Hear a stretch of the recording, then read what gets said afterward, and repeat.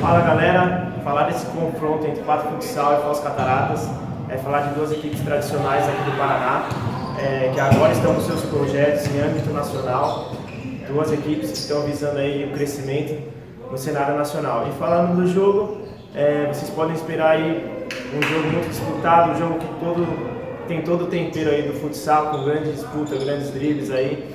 E esperamos fazer um grande espetáculo para todos os telespectadores.